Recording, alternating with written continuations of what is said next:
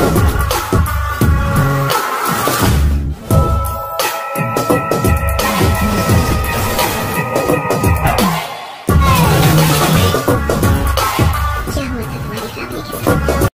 सो friends finally Vidyut Jammwal की latest movie सना का आ चुका है सबसे बड़ा अपडेट और दोस्तों, आज के इस अपडेट में हम बात करेंगे इसके ऑफिशियल ट्रेलर की रिलीज़ डेट को लेकर, और साथ साथ जानेंगे कि इस मूवी में आप सभी को कितने सॉन्ग्स देखने को मिल सकते हैं। तो चलिए शुरू कर लेते इस वीडियो को बिना किसी देरी के तो देखते रहेगा पूरा वीडियो तो दोस्तों वीडियो शुरू करने से पहले आइए जान लेते हैं इस शानदार मूवी के धमाकेदार स्टारकास्ट के बारे में। तो इस शानदार मूवी के धमाकेदार स्टारकास्ट में आप सभी को नेहा दुपिया, जो कि लीड एक्ट्रेस का किरदार निभाएगी, और इस मूवी के लीड एक्टर रहेंगे हमारे one and only martial artist Vidyut Jammwal sir, जो कि काफ़ी अच्छी तरीके से एक्टिंग करते हैं। और साथ ही साथ दोस्तों, अब आइए जान लेते हैं कि इस मूवी का ट्रेलर आप सभी के बीच में कब प्रस्तुत किया जाएगा। तो दोस्तों, ये एक मूवी जो कि हॉट स्टार वी के द्वारा रिलीज़ की जा रही है, जिसकी ऑफिशियल रिलीज़ डेट जो कि कन्फर्म कर दी गई है पंद्रह अक्टूबर के दिन। वही दोस्तों, इसका एक धमाकेदार ट्रेलर आप सभी के बीच में आ सकता है तीन से लेकर दो अक्टूबर के बीच में। जो कि काफ़ी अच्छी बात रहेगी इस मूवी के नज़रिए से। यानी कि दोस्तों, आप सभी को दिल थाम के बैठे रहना पड़ेगा दो अक्टूबर के साथ साथ तीन अक्टूबर के भी दिन। अगर दो अक्टूबर के दिन कुछ टेक्निकल इश्यूज़ की वजह से अगर ट्रेलर दो दिन, दो अक्टूबर के नहीं आता है तो इस मूवी का ट्रेलर रिलीज़ किया जा सकता है लगभग तीन तारीख को, जो ये काफ़ी अच्छी बात रहेगी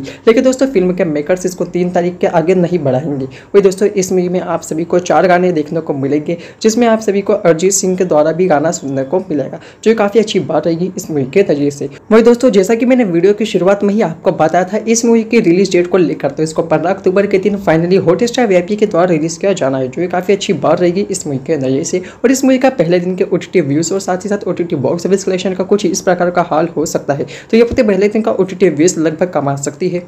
बीस से लेकर तीस मिलियन के बीच में जो है काफ़ी अच्छी बात रहेगी विद्युत जामवाल और उनके करियर के लिए। वही दोस्तों, अगर बात कर ले इस हिसाब से क्या कुछ रह सकता है इसका बॉक्स ऑफ़िस कलेक्शन तो इस हिसाब से इसका बॉक्स ऑफ़िस कलेक्शन हो सकता है लगभग बीस से लेकर चालीस करोड़ के बीच का। वही दोस्तों, अगर आप विद्युत जामवाल और नेहा दुपिया के अच्छे और सच्चे फ़ैन है तो प्लीज़ इस वीडियो को लाइक उम्मीद है दोस्तों, आप सभी को ये इन्फॉर्मेशन पसंद आई होगी। मिलते हैं अगले वीडियो में। तब तक लिए जय हिंद, जय भारत बाय बाय सब्सक्राइब कर ले बॉक्स ऑफ़िस ब्रेकिंग को बेल आइकन को जो हिट करें, ताकि इस लेटेस्ट इन्फॉर्मेशन आप तक जल्दी जल्दी पहुँच सके। जय हिंद, जय